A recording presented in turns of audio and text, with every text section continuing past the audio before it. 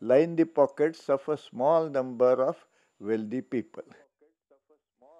Shri K Jayakumar ഒരുപക്ഷെ മാധവ് ഘാഡ്ഗിലിന്റെ ഈ വിമർശനം ഒരുപക്ഷെ അന്ന് ഭരണത്തിലുണ്ടായിരുന്ന സർക്കാരിനും ഇപ്പോഴത്തെ സർക്കാരിനും ഒക്കെ ഒരുപോലെ ബാധകമായിരുന്നു. ഈ സർക്കാരുകളുടെ ബ്യൂറോക്രസിയെ നയിച്ച ആളെന്ന നിലയ്ക്ക് എങ്ങനെയാണ് ഈ ഒരു വിമർശനം ഇപ്പോൾ ഔചിത്യപൂർവം ഉന്നയിക്കപ്പെടേണ്ട ഒരു ഒന്നാണെന്ന് താങ്കൾക്ക് തോന്നുന്നുണ്ടോ? ഇക്കാര്യത്തിൽ ഒരു വീഴ്ച നമ്മുടെ ഭരണ സമിതിക്കും അല്ലെങ്കിൽ ഭരണതലത്തിൽ രാഷ്ട്രീയ തലത്തിലും ഉണ്ടായിട്ടുണ്ടോ?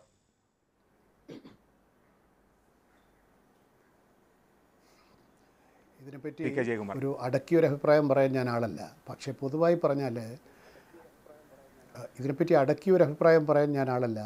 പക്ഷേ പരിസ്ഥിതിയുടെ കാര്യങ്ങളിൽ നമുക്ക് നമ്മുടെ ഒരു സമൂഹത്തിന് തന്നെ സർക്കാരിനെ പറ്റി പറയുന്നതിനേക്കാൾ കൂടുതൽ സമൂഹത്തിന് തന്നെ പൊതുവായൊരു അലംഭാവമുണ്ട്.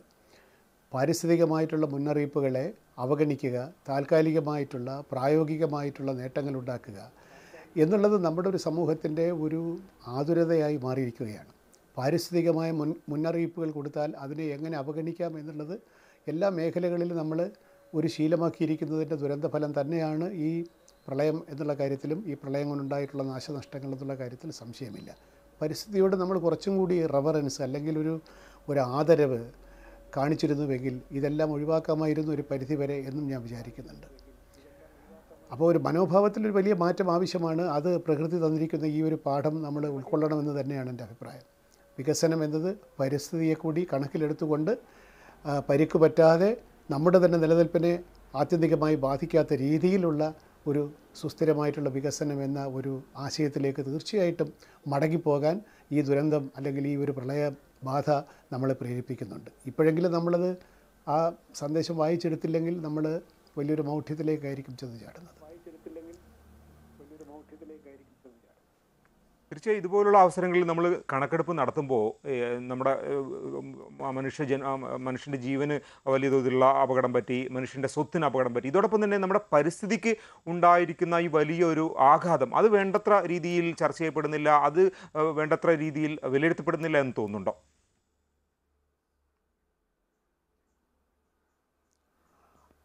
ഇപ്പോൾ പ്രധാനമായിട്ടും നമ്മൾ ആദ്യം ഒരു ഫസ്റ്റ് പ്രയോറിറ്റി എന്നുള്ളത് മനുഷ്യ ജീവന് തന്നെയാണല്ലോ. അതുകൊണ്ട് ജീവൻ നഷ്ടപ്പെടാതിരിക്കാനും അല്ലെങ്കിൽ ആളുകളുടെ ജീവിതം ഉറപ്പ് വരുത്താനും ജീവനും സ്വത്തുമൊക്കെ ഉറപ്പുവരുത്താനും നമുക്ക് ബാധ്യതയുണ്ട്. സമൂഹത്തിന് തീർച്ചയായിട്ടും ബാധ്യതയുണ്ട്. പക്ഷേ ഇത്തരം കാര്യങ്ങൾ ആവർത്തിക്കുന്നില്ല എന്നുള്ള ഉറപ്പ് വരുത്തുക രണ്ട് നഷ്ടപ്പെട്ടുള്ള പ്രകൃതിക്ക് ഒരുപാട് നഷ്ടം സംഭവിച്ചിട്ടുണ്ട്. ഈ ലാൻഡ് സ്ലൈഡ് എന്നൊക്കെ പറഞ്ഞാൽ പറയാൻ പറയുന്നത് പോലല്ലല്ലോ. ആ പ്രകൃതിക്ക് ഡാമേജ് വന്നു. ഇപ്പോൾ ശബരിമലയുടെ ഒരു കാര്യം പറഞ്ഞാൽ ഞാൻ കുറച്ച് ദിവസമായിട്ട് ചിന്തിക്കുന്ന ഒരു കാര്യമായതുകൊണ്ട് പമ്പാ നദി പിന്നെ അതിന്റെ ഗതി മാറി ഒഴുകി. അപ്പോൾ ഈ പ്രകൃതി നമ്മളോട് പറയുന്ന ചില കാര്യങ്ങളുണ്ട് ചില സന്ദേശങ്ങളുണ്ട്. അത് ഉൾക്കൊള്ളാനുള്ള ഒരു അവസരമായിട്ടാണ് ഞാനിതിനെ കാണുന്നത്. അങ്ങനെ മാത്രമേ നമുക്ക് പ്രകൃതിയുമായിട്ടുള്ളൊരു പുതിയ സമവാക്യം ഉണ്ടാക്കാൻ സാധിക്കൂ. വികസനത്തെ മാറ്റി നിർത്താതെ തന്നെ പ്രകൃതിയുമായൊരു പുതിയ സമവാക്യം ഉണ്ടാക്കാൻ ഈ സന്ദർഭം നമ്മളോട് ആവശ്യപ്പെടുന്നുണ്ട്. ആ സന്ദേശം നമ്മൾ വായിച്ചെടുത്തേ മതിയാവൂ എന്നാണ് എനിക്ക് തോന്നുന്നത്.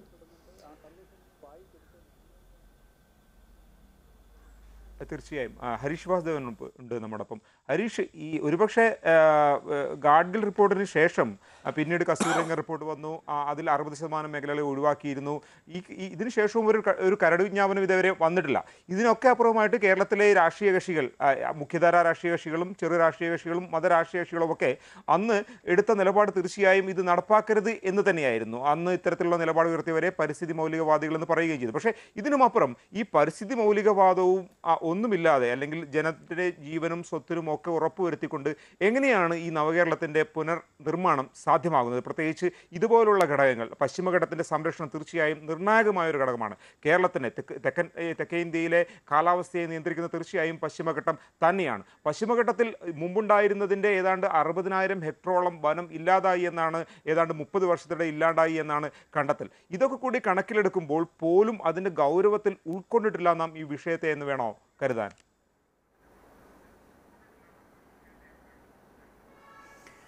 ഷാജഹാൻ ഈ കഴിഞ്ഞ ചർച്ചകൾ മുഴുവൻ അതായത് നവകേരളം എങ്ങനെ കെട്ടിപ്പടുക്കാം എന്നതിനെ സംബന്ധിച്ച ചർച്ചകൾ മുഴുവൻ അതിന്റെ സാമ്പത്തികമായ വശം ഇനി ഉണ്ടാകുന്ന നിക്ഷേപങ്ങൾ ഇനി കേരളത്തെ കെട്ടിപ്പടുക്കുന്നതിന്റെ നിർമ്മാണ സംവിധാനങ്ങൾ വീട് നിർമ്മാണം ഉൾപ്പെടെയുള്ള സംഗതികൾ.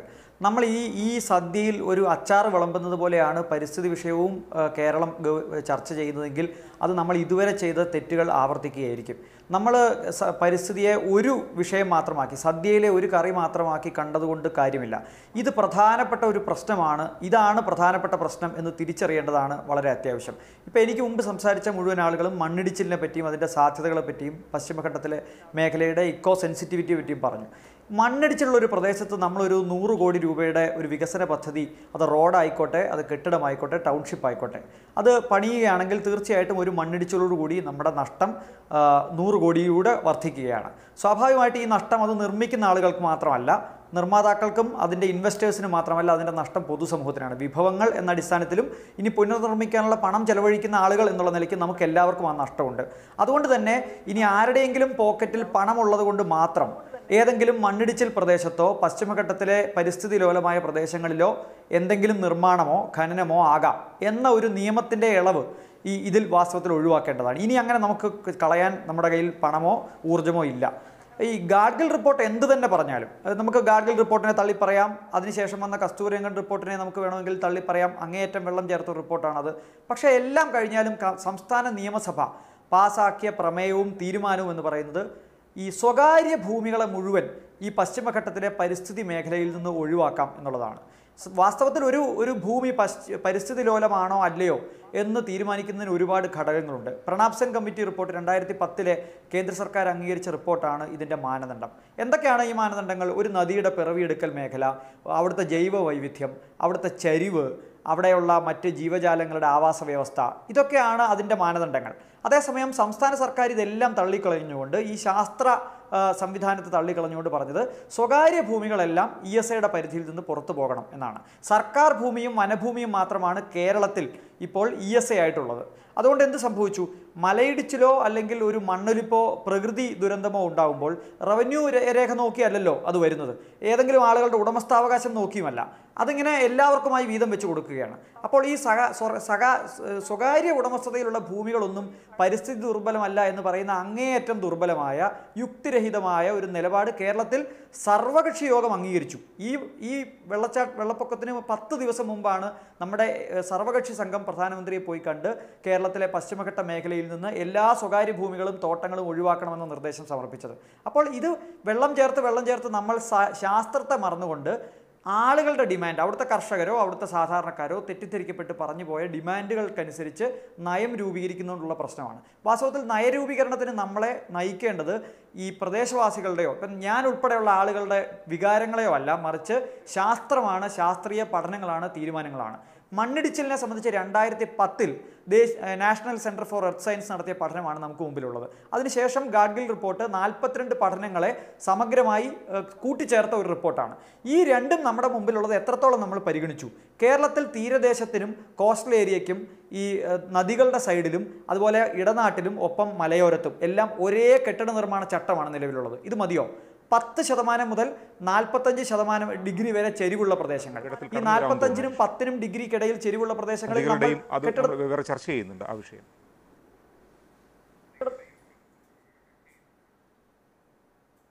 ശരി. അപ്പോൾ ഒറ്റ കാര്യം കൂടി. നമ്മൾ ഈ നവകേരള നിർമ്മാണം നടത്തുമ്പോൾ പരിസ്ഥിതി നയരൂപീകരണത്തിന് ഏറ്റവും പ്രാധാന്യം കൊടുക്കണം. അങ്ങനെ ചെയ്യുമ്പോൾ ഇന്നലെ വരെ സർക്കാരിനെ ഉപയോ ഉപദേശിച്ചിരുന്ന ശാസ്ത്രവിരുദ്ധരായിട്ടുള്ള ഉപദേശകരെ കൂടി മാറ്റി. ഈ ഉപദേശം ശാസ്ത്രീയമാണെന്ന് ഉറപ്പുവരുത്തേണ്ടതുണ്ട് ഇപ്പോൾ മ- മനുഷ്യരാരും ചെന്നെത്തിപ്പെടാത്ത പ്രദേശങ്ങളിൽ പോലും ഉരുൾപൊട്ടിയിട്ടുണ്ട് ശബരിമലയാണ് ഏറ്റവും നല്ല ഉദാഹരണം. ശബരിമല മാസ്റ്റർ പ്ലാനിൽ നിന്ന് നേരെ ഘടകവിരുദ്ധമായി ശബരിമല മാസ്റ്റർ പ്ലാനിൽ ഇല്ലാത്ത അനധികൃത കെട്ടിട നിർമ്മാണം അവിടെ നടത്തിയിട്ടുണ്ട്. അതിന് അക്കൗണ്ടബിളായ ആളുകൾ ഈ ചർച്ചയിൽ തന്നെയുണ്ട്. വാസ്തവത്തിൽ അവർക്ക് കൂടി ഒരു കണ്ണ് തുറപ്പിക്കുന്ന ഒരു നിലപാടായിരിക്കണം ഇക്കാര്യത്തിൽ സ്വീകരിക്കേണ്ടതെന്നാണ് എനിക്ക് അഭിപ്രായമുള്ളത്. ശബരിമല പോലുള്ള സെൻസിറ്റീവായ പ്രദേശങ്ങളിൽ എനിക്കും പോകണം എനിക്കും പോകണം എന്ന് പറഞ്ഞ് ലക്ഷക്കണക്കിന് ആളുകളെ കൊണ്ടുവരലല്ല. അതിന്റെ ക്യാരിയിങ് കപ്പാസിറ്റി അനുസരിച്ച് മാത്രമുള്ള വികസനമായിരിക്കണം അവിടെ നടപ്പാക്കുന്നത്. അത് നിലനിൽക്കുന്ന നിയമങ്ങൾക്ക് അനുസൃതമായി കൂടിയായിരിക്കണം. ഈ ക്വാറികൾക്കെല്ലാം അനധികൃതമായി പ്രവർത്തിക്കാൻ അനുമതി നൽകിയ ജിയോളജിസ്റ്റുകളും അവർക്ക് എൻവയോൺമെന്റ് ക്ലിയറൻസ് കൊടുത്ത കളക്ടർമാരും എല്ലാം ഈ കാര്യത്തിൽ ഒരു പുനർവിചിന്തനം നടത്തി അവരെ എല്ലാം അക്കൗണ്ടബിൾ ആക്കുന്ന ഒരു പ്രോസസ്സ് കൂടി ഈ കാര്യത്തിൽ തുടങ്ങിയില്ലെങ്കിൽ നവകേരളത്തിന് വേണ്ടി നമ്മൾ ഇൻവെസ്റ്റ് ചെയ്യുന്ന തുക അടുത്ത ഭൂചലനമോ മറ്റെന്തെങ്കിലും ദുരന്തമോ വരുമ്പോൾ വീണ്ടും നമ്മൾ ഇൻവെസ്റ്റ് ചെയ്യേണ്ടതായിട്ട് വരും. അതുകൊണ്ട് ഇൻവെസ്റ്റ്മെന്റ് എന്ന് പറയുന്നത് കുറച്ചുകൂടി പഠനങ്ങൾ. ഒരു കോടി രൂപ പരിസ്ഥിതി പഠനത്തിന് നിങ്ങൾ വിനിയോഗിച്ചാൽ അത് പതിനായിരം കോടി രൂപയുടെ പ്രതിഫലമായി നിങ്ങൾക്ക് തിരിച്ചു കിട്ടും. അതുകൊണ്ട് ശാസ്ത്ര പഠനങ്ങൾക്കനുസൃതമായിരിക്കണം കേരളത്തിന്റെ വികസനം ഇനി നടപ്പാക്കുന്നത്. തീർച്ചയായും ഒരുപക്ഷേ ഇതിൽ ഡോക്ടർ ശ്രീ കെ ജയകുമാറിന് ഒരു മറുപടി പറയാനുണ്ടാവും. നമുക്ക് തീർച്ചയായും മറുപടിയിലേക്ക് വരാം. അതിനു മുമ്പ് ഈ ഒരു ദുരന്തങ്ങൾക്കൊക്കെ ശേഷവും എന്താണ് ഒരുപക്ഷെ ഈ തരത്തിലുള്ള സംരക്ഷണത്തിന് പ്രകൃതി സംരക്ഷണത്തിന് വേണ്ടി കൊണ്ടുവന്ന കസ്തൂരിരംഗൻ റിപ്പോർട്ടിനെയും ഒക്കെ എതിർത്ത താമരശ്ശേരി രൂപത അടക്കമുള്ള അവരുടെ നേതൃത്വം അടക്കമുള്ള ആളുകൾക്ക് പറയാനുള്ളതെന്ന് കേൾക്കാം. ഫാദർ റമീജി മാർ റമീജിയോസ് ജനാനിയിൽ. അദ്ദേഹം ഈ പ്രളയത്തിന് ശേഷവും അദ്ദേഹം പറഞ്ഞത് ഇത് ഒട്ടും ഒരു പരിസ്ഥിതിയുമായി ബന്ധമില്ലാത്ത കാര്യമാണ്. ഇതൊരു മഹാപ്രളയം മാത്രമാണ് എന്ന് കാണാനാണ് ഇഷ്ടമെന്നാണ് അദ്ദേഹം ഏഷ്യാൻ ന്യൂസിനോട് പ്രതികരിച്ചത്. അദ്ദേഹത്തിന്റെ വാക്കുകൾ കേൾക്കാം നമുക്ക്. ഈ ഉരുൾപൊട്ടലുണ്ടായ ഈ രണ്ട് ജില്ലകളിൽ ഉരുൾപൊട്ടലുണ്ടായ മിക്കവാറും സ്ഥലങ്ങളിൽ പോയി. ഈ ഉരുൾപൊട്ടൽ മുഴുവൻ നടന്നിട്ടുള്ളത് ഡീപ്പ് ഫോറസ്റ്റിലാണ്. ഉരുൾപൊട്ടൽ ഇത് കൺസ്ട്രക്ഷനുള്ള ഈ കാലഘട്ടത്തിലല്ല. മഴയുള്ള കാലഘട്ടം മുതൽ തന്നെ എല്ലാ കാലത്തും ഉരുൾപൊട്ടലുണ്ട്. ഇതുപോലുള്ള വെള്ളപ്പൊക്കമുണ്ട് ഉരുൾപൊട്ടലുമുണ്ട്. അത് ഒരു ദിവസം കൊണ്ട് ഉണ്ടാകുന്നതല്ല. അപ്പോൾ ഇത് രണ്ടും കൂടെ കണക്ട് ചെയ്ത് ഈ അവസരത്തിൽ മലയോര മേഖലകളിൽ ജീവിക്കുന്ന ആളുകളെ കുറ്റപ്പെടുത്തിക്കൊണ്ടുള്ള പല പ്രയോഗങ്ങളും എല്ലാം കണ്ടു. അത് ഈ അവസരത്തിൽ ഒട്ടും തന്നെ യോജിക്കുന്നതല്ല. ജപ്പാനിൽ ഈ അടുത്ത കാലത്ത് വലിയ പ്രളയമുണ്ടായിട്ട് ആളുകൾ മരിച്ചത്. എത്രയോ ആളുകളാണ് അവിടെ ഉള്ളതെന്ന് നാം കണ്ടതാണ്. ഹ്യൂസ്റ്റണിൽ കഴിഞ്ഞ വർഷം വലിയ വെള്ളപ്പൊക്കം ഉണ്ടായി. അവരുടെ വിമാനത്താവളമൊക്കെ വിമാനങ്ങൾ മുങ്ങി വിമാനത്താവളം അടച്ചു. വലിയ തീയാണ് കാലിഫോർണിയയിൽ കാലിഫോർണിയയിലുണ്ടായത് യൂറോപ്പിലുണ്ടായത്. നാം ഈ അടുത്ത ദിവസങ്ങൾ കണ്ട. ഇതെല്ലാം ഈ ഗാഡ്ഗിലിന്റെ റിപ്പോർട്ടിന്റെ അടിസ്ഥാനത്തിലാണോ? ഇതൊക്കെ വെറുതെ കണ്ണടച്ചിരുട്ടാക്കുകയും വെറുതെ തെറ്റായിട്ടുള്ള രീതിയിൽ പ്രചരിപ്പിച്ചുകൊണ്ട് ആളുകളെ വഞ്ചിക്കുകയും ചെയ്യുന്നൊരു സമീപനമാണ് അങ്ങനെയാണെങ്കിൽ ഈ ഇങ്ങനെയുള്ളവർ സുഖലോലുപതയുടെ വഴിമാറുണ്ട് എ സി ഓഫാക്കട്ടെ. എയർ കണ്ടീഷനുകൾ ഉപയോഗിക്കാതിരിക്കട്ടെ. ഫ്രിഡ്ജുകൾ ഉപയോഗിക്കാതിരിക്കട്ടെ. അവർ വാഹനങ്ങൾ ഉപയോഗിക്കാതിരിക്കട്ടെ ആത്മാർത്ഥതയുള്ളവരാണെങ്കിൽ വാഹനം ഉപയോഗിക്കരുതല്ലോ. ഒരു പ്രകൃതിയെ സ്നേഹിക്കുന്നുണ്ട്. അവർക്കെല്ലാ സുഖ സൗകര്യങ്ങളും പാവപ്പെട്ട രാവും പോലും കണ്ണീരോടുകൂടി ജോലി ചെയ്യുന്ന കർഷകർക്ക് കുറ്റപ്പെടുത്തലും പീഡനവും. ഈ കർഷകർക്ക് ജീവിക്കാനുള്ള അവകാശമില്ലേ? അതിന് സംവിധാനം ഉണ്ടാക്കി കൊടുക്ക്. എന്നിട്ട് സംസാരിക്കുക എന്നിട്ട് സംസാരിക്ക്. ശ്രീ ജയകുമാർ ഇതുപോലുള്ള യുക്തികളാണ് ഒരുപക്ഷെ ഒരു വലിയ ദുരന്തത്തിന് ശേഷവും നമ്മുടെ മുമ്പാകെ ഉന്നയിക്കപ്പെടുന്നത്. എങ്ങനെ കാണുന്നു ഇത്തരം ഒരു വളരെ ലളിതവൽക്കരിച്ചുള്ള ഒരു മറുപടി അല്ലെങ്കിൽ നിലപാടിന്? ഒരുപക്ഷെ സാധാരണ ജനങ്ങളിലേക്ക് പ്രകൃതി ദുരന്തങ്ങളുടെയൊക്കെ ഒരു ശാസ്ത്രീയമായ വശം എത്തിക്കേണ്ട ഒരു സമയത്താണ് ഇതുപോലുള്ള വാദങ്ങൾ ഉന്നയിക്കേണ്ടത്. ഇതൊരു വിവാദത്തിലേക്ക് നീക്കാൻ ഉള്ളൊരു ചർച്ചയല്ല ഞാൻ ഉദ്ദേശിക്കുന്നത്. ഒരുപക്ഷെ ജനങ്ങളെ കൂടുതൽ കാര്യങ്ങൾ ബോധ്യപ്പെടുത്താനുള്ള ഒരു അവസരമായി വേണ്ടേ ഇതുപോലുള്ള ഘട്ടങ്ങൾ നമുക്ക് കാണാൻ?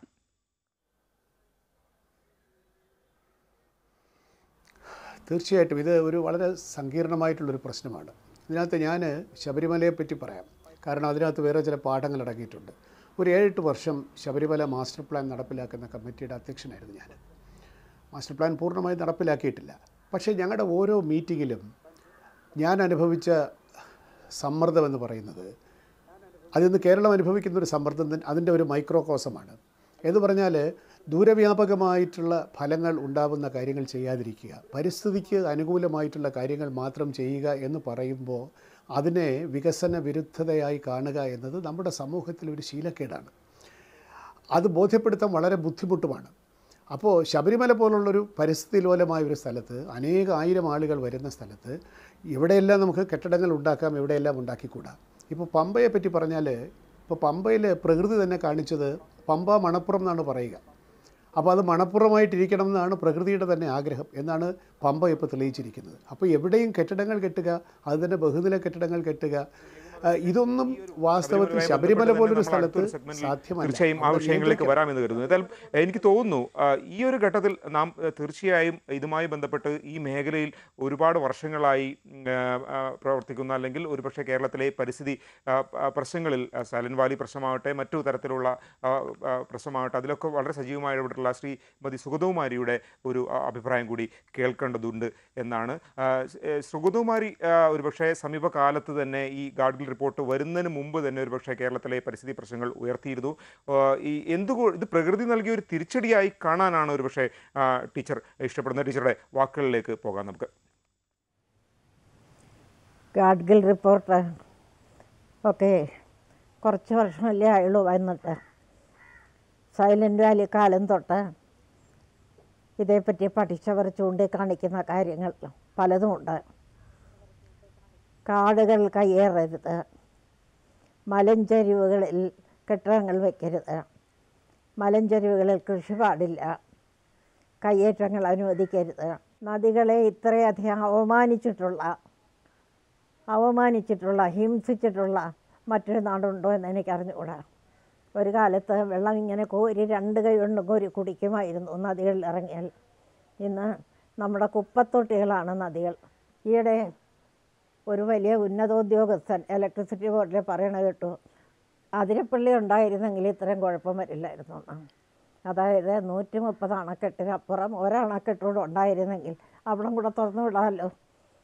എന്തൊരു ഭ്രാന്താണ് ഈ പറയുന്നത്. എന്തൊരു രാജ്യദ്രോഹമാണ്. ഭൂമിയോടുള്ള എന്തൊരു ദ്രോഹമാണ് ഇതൊക്കെ.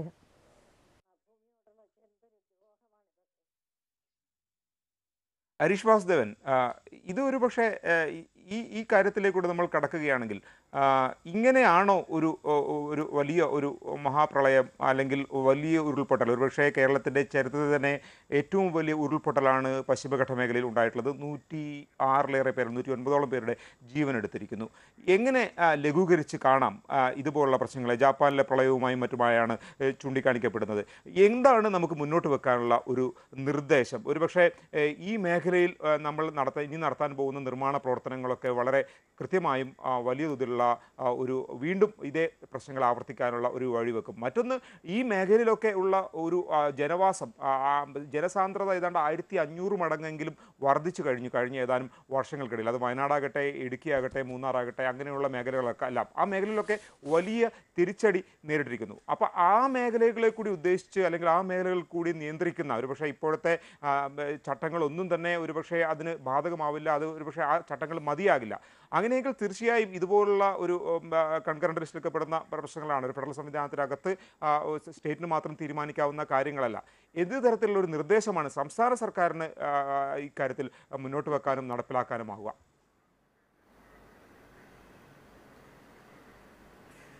ഷാജഹാൻ ഇതിന് നമ്മൾ ഇതുവരെ പഠിത്തിരുന്ന കഴിഞ്ഞ അറുപത് വർഷക്കാലത്തെ കേരളത്തിന്റെ നിർമ്മാണത്തിൽ നിന്ന് തികച്ചും വ്യത്യസ്തമായൊരു രീതിയിലേക്ക് നമ്മൾ മാറേണ്ടിയിരിക്കുന്നു. ഇന്നത്തെ കേരളം പടുത്തിരിക്കുന്നത് ലാൻഡ് റിഫോംസ് ആക്ടിലാണ് ഭൂപരിഷ്കരണ നിയമത്തിന്റെ അടിസ്ഥാനത്തിലാണ് ഭൂമി എല്ലാവർക്കും വിതരണം ചെയ്യപ്പെട്ടിരിക്കുന്നത്. വിതരണം ചെയ്യപ്പെട്ട് കിട്ടിയ ജന്മികുടിയാൻ വ്യവസ്ഥ അനുസരിച്ച് കിട്ടിയ ഭൂമികളിലാണ് നമ്മളെല്ലാം വീടുകളും കെട്ടിടങ്ങളും ഒക്കെ നിർമ്മിച്ചിരിക്കുന്നത്. അതുകൊണ്ട് തന്നെ തിരുവനന്തപുരം മുതൽ കാസർഗോഡ് വരെ കേരളം ആ അർത്ഥത്തിൽ ഒരു ഒറ്റ നഗരമായി കണക്കാക്കേണ്ടതാണ്. എന്നാൽ നമുക്കറിയാം ഇപ്പം എനിക്ക് എന്റെ കയ്യിൽ ഭൂമി ഉണ്ടെങ്കിൽ വയനാട്ടിലോ ഇടുക്കിയിലോ അല്ലെങ്കിൽ പത്തനംതിട്ടയിലോ എവിടെയെങ്കിലും നമ്മൾ പോയി ഒരേക്കർ സ്ഥലം വാങ്ങിക്കുന്നു. അതിന്റെ നടുക്ക് നമ്മളൊരു വീട് പണിയുന്നു. ആ വീട്ടിലേക്കുള്ള വഴി അതിലേക്കുള്ള മുറ്റം തൊടി ചുറ്റുപാടുകൾ റോഡ് എന്നിങ്ങനെ നമ്മൾ ടോട്ടൽ ലാൻഡ് യൂസ് ചേഞ്ച് ചെയ്തുകൊണ്ട് നമ്മൾ എന്റെ ഒരു ലിവിങ് സ്പേസിന് വേണ്ടി മാത്രം ഇത്രയധികം ലാൻഡ് നമ്മൾ ഉപയോഗിക്കുകയാണ്. ഇതിനൊന്നും കേരളത്തിലൊരു നിയന്ത്രണവുമില്ല. ആ പരിപാടി മാറ്റിക്കൊണ്ട് അതായത് ഓരോരുത്തരും ഇഷ്ടമുള്ളിടത്ത് വീട് പണിയുകയും കെട്ടിടങ്ങൾ പണിയുകയും അവിടങ്ങളിലേക്കെല്ലാം റോഡ് നിർമ്മിക്കുകയും ചെയ്യുന്ന പഴയ സിസ്റ്റം മാറ്റിക്കൊണ്ട് എക്സിസ്റ്റിംഗ് ഇൻഫ്രാസ്ട്രക്ചർ ഉപയോഗിച്ചുകൊണ്ടുള്ള നിർമ്മാണ രീതിയിലേക്ക് നമ്മൾ ആളുകളെ സോണേഷൻ എന്നാണ് അതിന് പറയുക. ഈ കേസ് ഈ കേരളത്തിന്റെ ഈ ഇപ്പോഴത്തെ വെള്ള വെള്ളപ്പൊക്കം ഉണ്ടായപ്പോൾ ആദ്യം ഹൈക്കോടതി പരിഗണിച്ചത് കേരളം ഇനി സോണുകളായി തിരിച്ചുകൊണ്ടായിരിക്കണം നിർമ്മാണ പ്രവർത്തനങ്ങളും മറ്റ് റിലീഫ് സംഗതികളും നടപ്പാക്കേണ്ടതാണ്.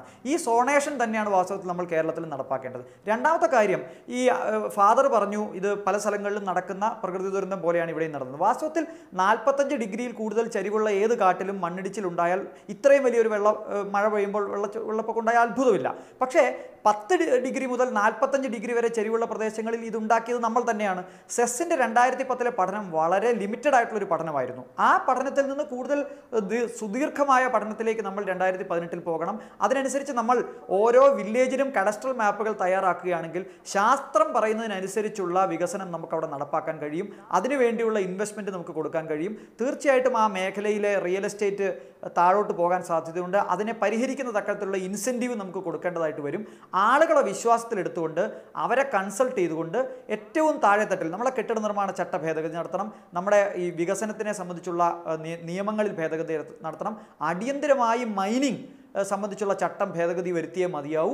ഇതെല്ലാം ഒരുമിച്ച് കൺസോളിഡേറ്റ് ആയിട്ട് ചെയ്യാൻ ഒരുപക്ഷെ ഒക്ടോബർ മാസത്തിൽ നമ്മൾ ഒരു പ്രത്യേക നിയമസഭാ സമ്മേളനം തന്നെ വിളിക്കേണ്ടതായിട്ട് വരും. ഈ നവകേരള നിർമ്മാണത്തിന് ഏതെല്ലാം നിയമങ്ങളാണ് പരിഷ്കരിക്കേണ്ടതെന്നതിനെ സംബന്ധിച്ച്. അതിനുവേണ്ടി ചിലപ്പോൾ ഒരുപക്ഷെ പരിസ്ഥിതി മേഖലയിൽ നിന്നുള്ള നിയമവിദഗ്ധരെ ദേശീയ തലത്തിലുള്ള അഡ്വക്കേറ്റ് ഋത്തിക് ദത്തയെ പോലെയുള്ള നിയമവിദഗ്ധരെ പ്രത്യേകിച്ച് ഈ നേരത്തെ വെള്ളപ്പൊക്കം ഉണ്ടായ സംസ്ഥാനങ്ങളിൽ ഈ നിയമമേഖലയിൽ സേവനം അനുഷ്ഠിച്ചിട്ടുള്ള സുപ്രീം കോടതി അഭിഭാഷകരെ നമ്മൾ വിളിച്ചു വരുത്തി ഈ കാര്യത്തിൽ ഒരു പാനൽ തയ്യാറാക്കി. കേരളം എങ്ങനെ എങ്ങനെയൊക്കെയാണ് ഇനി വികസിക്കേണ്ടത്. പരിസ്ഥിതി നിയമങ്ങൾ പരിഷ്കരിക്കേണ്ടത് എന്നതിനെ സംബന്ധിച്ചുള്ള സമഗ്രമായ ഒരു തീരുമാനം സർക്കാർ തലത്തിലെടുക്കണം. നമുക്കൊരു ലാൻഡ് യൂസ് പോളിസി ഇതുവരെ ഇല്ല. അതുകൊണ്ട് ഇപ്പോൾ ഒരു പറ്റിയ സമയമാണ് ഒരു ലാൻഡ് യൂസ് പോളിസി ഉണ്ടാക്കാൻ. ഒരു കേന്ദ്ര സർക്കാരിന്റെയും അനുമതി ആവശ്യമില്ല. ഭരണഘടനയുടെ എഴുപത്തിമൂന്നാം അമെൻമെന്റിന് ശേഷം പഞ്ചായത്തുകളിൽ നിക്ഷിപ്തമാണ് ഈ ഭരണ ഈ ലാൻഡ് യൂസ് പോളിസി അല്ലെങ്കിൽ ലാൻഡ് യൂസ് ഉണ്ടാക്കുക എന്ന് പറയുന്നത്. അത്തരം മാപ്പുകൾ ഉണ്ടാക്കിയതിന് ശേഷം മാത്രമേ ഇനി വലിയ നിർമ്മാണങ്ങൾ കേരളത്തിൽ തുടങ്ങാവൂ.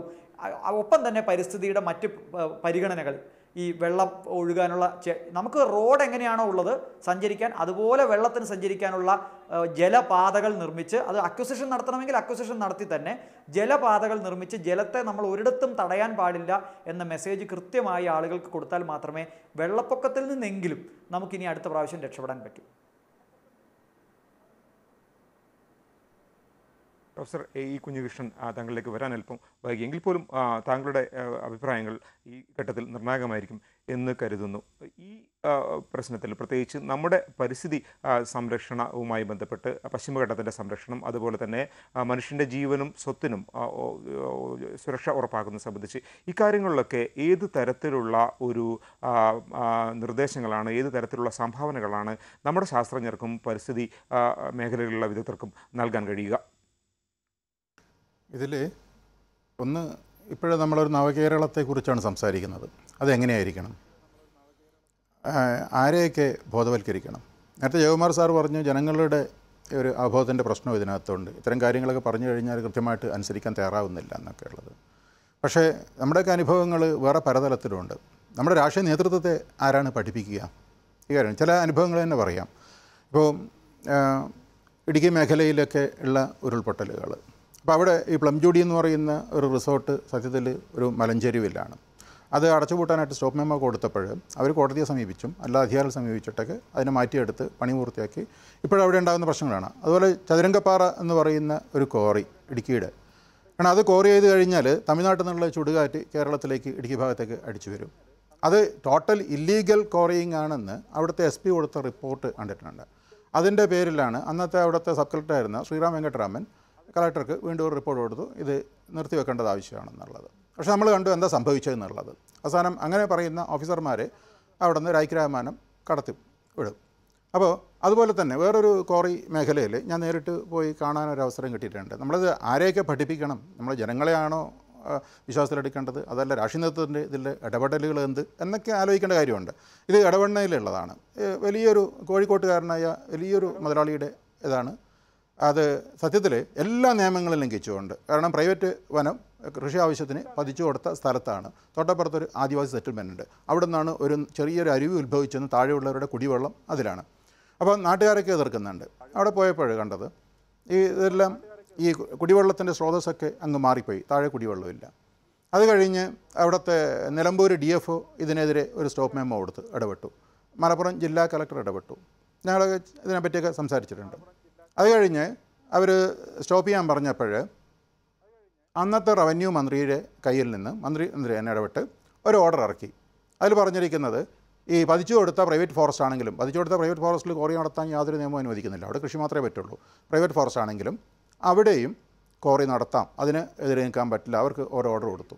ഈ ഓർഡറും കൊണ്ട് ഡി എഫ് ഒയുടെ അടുത്തും കളക്ടറടുത്തും പോയപ്പോൾ ഈ ഓർഡർ നിയമത്തിന് വിരുദ്ധമാണ്. ആയിരത്തി തൊള്ളായിരത്തി എഴുപത്തൊന്നിലെ vesting and assignment of forest ആക്ടിന് എതിരാണ് എന്നവർ പറയുകയും ഇത് അനുസരിക്കാൻ ബുദ്ധിമുട്ടുണ്ടെന്ന് പറഞ്ഞപ്പോൾ മന്ത്രി വളരെ ക്ഷുഭിതനായി. ഗവൺമെന്റ് ഇട്ടൊരു ഓർഡർ നിഷേധിക്കാൻ ഈ ഉദ്യോഗസ്ഥന്മാർക്ക് എന്താണ് കാര്യം? പിന്നെ നമ്മൾ കണ്ടത് പത്ത് ദിവസത്തിനകം നിലമ്പൂർ ഡി എഫ് ഒയും മലപ്പുറം കലക്ടറും മാറിപ്പോയി. അവരെ സ്ഥലം മാറ്റി. ഈ തരത്തിലുള്ള ഇടപെടലുകൾ നടക്കുന്നത് ഒരു തലമുണ്ട്. നമ്മൾ ഇതൊക്കെ പറഞ്ഞ് ഇങ്ങനെയൊക്കെയാണ് ഇപ്പോൾ നമ്മൾ താമരശ്ശേരി ബിഷപ്പിന്റെ രൂപതയുടെ അധികാരി സംസാരിക്കുന്നത് നമ്മൾ കേട്ടു. എത്ര ധിക്കാരമായിട്ടാണ് അദ്ദേഹം പറഞ്ഞത്. എന്ത് കളിയാക്കലാണ്. ഇത് ഇതേ കേരളത്തിൽ തന്നെ നടക്കുന്നത്. ഈ ആൾക്കാരൊക്കെ കൈകോർത്ത് ഒരു പ്രളയത്തിൽ നിന്ന് ജനങ്ങളെ മുഴുവൻ രക്ഷിച്ച ഒരു കൂട്ടായ്മ കണ്ടിട്ട് അതിനുശേഷം ഒരാളിൽ നിന്ന് വരുന്നത്. ഞാൻ പറയട്ടെ ഈ ഉരുൾപൊട്ടലുകൾ ഇന്നുണ്ടായത് ഈ താമരശ്ശേരി രൂപതയുടെയും ഇടുക്കി രൂപതയുടെയും ഇടുക്കി ബിഷപ്പിന്റെയും കീഴിലുള്ള സ്ഥലങ്ങളിലാണ് ഏറ്റവും കൂടുതൽ ഉരുൾപൊട്ടലുണ്ടായത്. ഏറ്റവും വലിയ രണ്ട് കയ്യേറ്റ മേഖലകൾ എന്ന് തന്നെ ഞാൻ പറയും. അപ്പോൾ അവിടെയാണ് ഏറ്റവും കൂടുതൽ ഉരുൾപൊട്ടലുകൾ ഉണ്ടാകുന്നത്.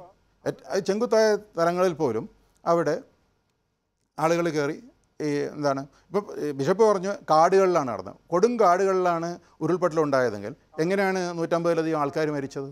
ജനവാസ കേന്ദ്രങ്ങളാണ്. ലോല പ്രദേശങ്ങൾ എന്ന് പറയുന്നത് ജനവാസ കേന്ദ്രങ്ങൾ തന്നെ. നമ്മൾ ഗാഡ്ഗിൽ കമ്മിറ്റി റിപ്പോർട്ടിനെ കുറിച്ച് പറയുന്നുണ്ട്.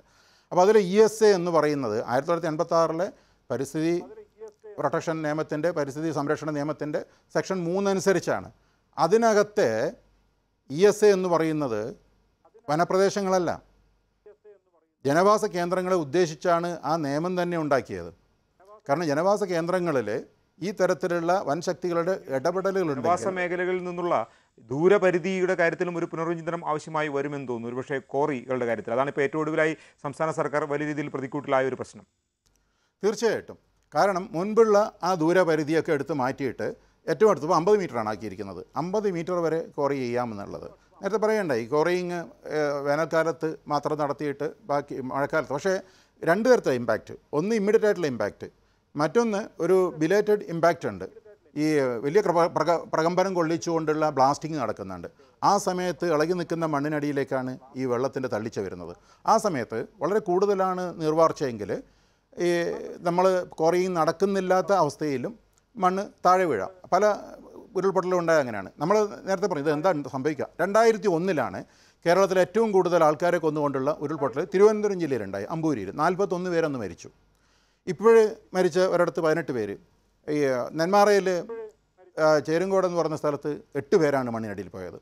അതുപോലെ തന്നെ വടക്കഞ്ചേരി അടുത്തുള്ള ആ ഉരുൾപൊട്ടലിൽ ധാരാളം പേര്. ഇതിനൊക്കെ സമാനതകളുണ്ട്. സമാനമായിട്ടുള്ള ചെങ്കുത്തായ സ്ഥലങ്ങളിലാണ്.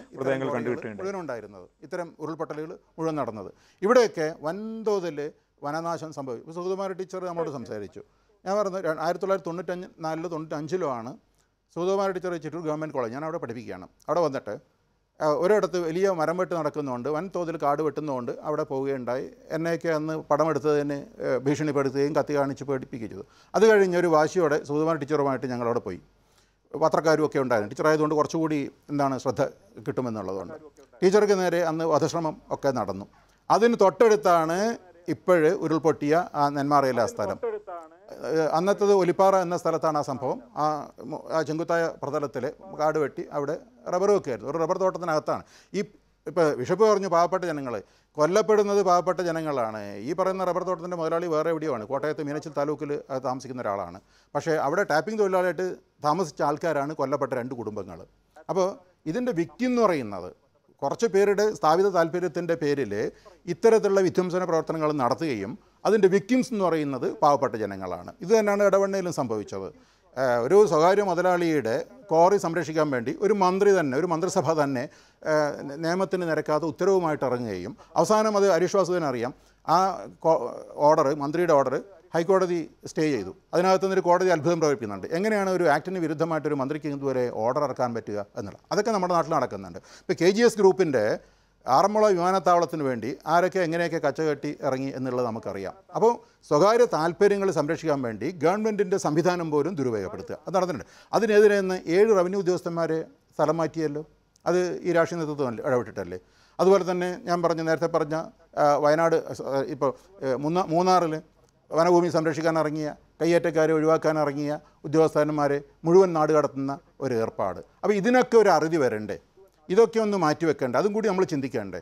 കാരണം നവകേരളം വെട്ടി കെട്ടിപ്പടുക്കാൻ വേണ്ടി ഒരു മാസ്റ്റർ പ്ലാൻ തയ്യാറാക്കിക്കൊണ്ട് നമ്മൾ മുന്നോട്ട് പോയാൽ മാത്രം മതിയോ? പഴയത് നമ്മൾ വലതും പഠിച്ചിട്ടുണ്ടോ? ഇനി ഇത് റിപ്പീറ്റ് ചെയ്യും. കാരണം നമ്മൾ ചരിത്രം നോക്കണം. ആയിരത്തി തൊള്ളായിരത്തി ഇരുപത്തിനാലിലെ വെള്ളപ്പൊക്കം അതാണ് തൊണ്ണൂറ്റൊമ്പതിലെ വെള്ളപ്പൊക്കമായിട്ട് നമ്മൾ എടുക്കുന്നത്. അതിന് മുമ്പേ ഒന്ന് രണ്ട് വെള്ളപ്പൊക്കങ്ങൾ ആയിരത്തി എണ്ണൂറ്റി എൺപത്തൊന്നിലൊരു വെള്ളപ്പൊക്കം ഉണ്ടായിട്ടുണ്ട്. ആയിരത്തി തൊള്ളായിരത്തി ആറിലൊരു വെള്ളപ്പൊക്കം ഉണ്ടായിട്ടുണ്ട്. കൃത്യം നൂറ് കൊല്ലം റിപ്പിറ്റേഷൻ വരുന്ന ഒരു സംഭവമുണ്ട് ആയിരത്തി എണ്ണൂറ്റി ഇരുപത്തിനാലിലെ ഒരു വെള്ളപ്പൊക്കത്തെക്കുറിച്ച് പറയുന്നുണ്ട്. പക്ഷേ ഈ എൺപത്തി ഒന്നിലെ ആയിരത്തി എണ്ണൂറ്റി എൺപത്തൊന്നിലെയും ആയിരത്തി തൊള്ളായിരത്തി ആറിലെയും വെള്ളപ്പൊക്കത്തെ കവച്ചു വെക്കുന്ന രീതിയിലായിരുന്നു ഈ തൊണ്ണൂറ്റൊൻപതിലെ അല്ലെങ്കിൽ ആയിരത്തി തൊള്ളായിരത്തി ഇരുപത്തിൽ നാലിലെ വെള്ളപ്പൊക്കം. അതുകൊണ്ട് മറ്റു രണ്ടെണ്ണം നമ്മൾ വിസ്മരിച്ചു പോയി. അപ്പോൾ ഇതിന്റെ ഫ്രീക്വൻസി എന്ന് പറയുന്നത് അടുത്തടുത്ത് വരുന്നുണ്ട്.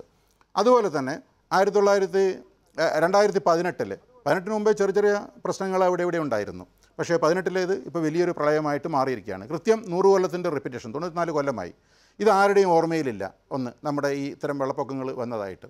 അപ്പോൾ ഇത് വേറൊന്ന് കൂട്ടി വായിക്കണം. നേരത്തെ ബിഷപ്പ് തന്നെ പറഞ്ഞു ജപ്പാനിൽ സംഭവിക്കുന്നു ഫ്ലോറിഡയിൽ സംഭവിക്കുന്നു ഫ്ലോറിഡയിൽ ഫ്ലോറിഡയിൽ രണ്ടായിരത്തി പതിനേഴിലെ എന്താണ് ഇർമ എന്ന് പറയുന്ന ഒരു ചുഴലിക്കാറ്റ്. അതാണ് ഏറ്റവും ആഞ്ഞു വീശി അവരുടെ ഓർമ്മയിൽ ഓർമ്മയിൽ ഏറ്റവും പ്രകാരമേൽപ്പിച്ച ഒരു ചുഴലിക്കാറ്റായിരുന്നു അത്. അപ്പോൾ ഈ ഒരു സമയത്ത് അതുപോലെ ജപ്പാനിൽ സംഭവിച്ചത് ഫിലിപ്പീൻസ് സംഭവിച്ചത്.